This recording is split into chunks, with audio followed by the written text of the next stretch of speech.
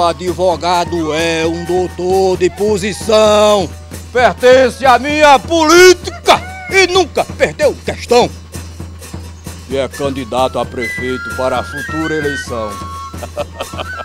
Ainda bem que meu papel é pequeno, porque eu não tenho experiência nenhuma nisso. Né? Mas professor um pouco artista, né? São muitos anos dentro de sala de aula, então a gente tem que, que inventar sempre. Agora, trabalhar com dois monstros da nossa região, né? considerados monstros mesmo na área da, da, do teatro, na área do, do, dos, dos curtas, é, é divino. Trabalhar com Laerton é maravilhoso. Laerto já teve a oportunidade de fazer vários trabalhos com a, com a gente, eu mostrar meus meninos Brasil e mundo afora. E para mim não tem preço, eu acho que faltava isso na minha vida. Eu agradeço. Deus abençoe todos vocês.